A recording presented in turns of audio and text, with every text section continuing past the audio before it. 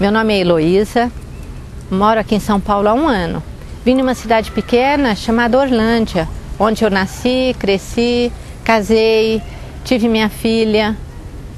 E lá eu tive minha vida praticamente metade da minha vida. Agora eu já com 50, mais de 50 anos, vim aqui para São Paulo.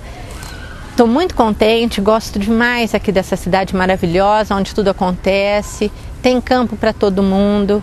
Vim cheio de expectativa, porque a gente, quando vem de uma cidade pequenininha, a gente sonha bastante. E não é porque eu sou uma pessoa mais madura, mais vivida, que eu não tenho meus sonhos também. Principalmente, a gente chega numa altura da vida que a gente quer assim o bem-estar nosso e do próximo. E o que, que a vida me ensinou? Que a gente tá, tá feliz vendo o outro feliz. Então aqui, graças a Deus, tenho tido oportunidades muito interessantes, embora é uma cidade de gente muito sofrida, é, pessoas que vêm de todo lado, e, mas é uma terra de gente esperançosa, sabe?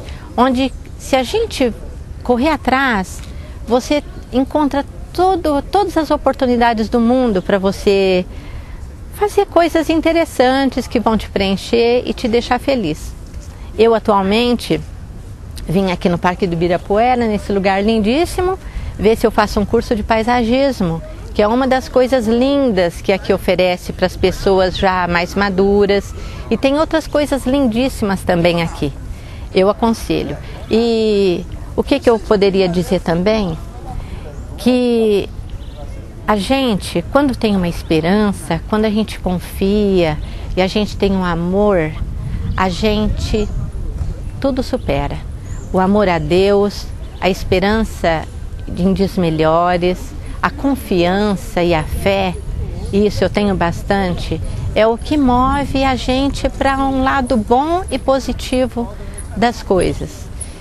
E eu quero agradecer muito essa oportunidade de eu estar falando sobre tudo isso de bom, que eu quero muito ver todos à minha volta felizes, contentes e sempre, sempre você tendo amor a Deus e confiando, tendo fé no seu trabalho, esperança, isso move para as coisas boas da vida.